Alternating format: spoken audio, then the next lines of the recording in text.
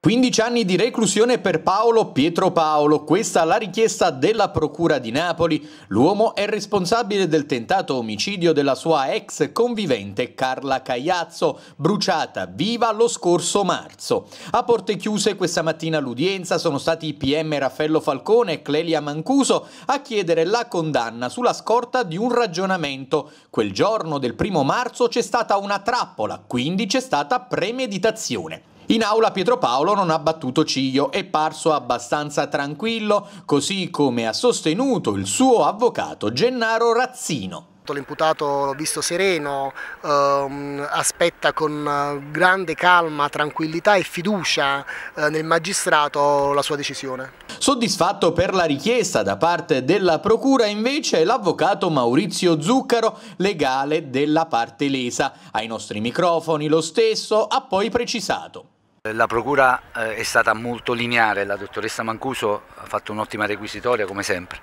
Eh, ha rappresentato quelli che erano eh, le circostanze aggravanti del fatto, quindi sia i motivi abietti e futili, eh, sia la crudeltà nell'aver utilizzato il mezzo, quello incendiario, ma soprattutto della premeditazione. Noi non dimentichiamo che l'agguato che Pietro Paolo ha poi realizzato ai danni di, di Carla Caiazzo è, se, è soltanto l'epilogo di una serie di atti persecutori posti in essere dall'imputato.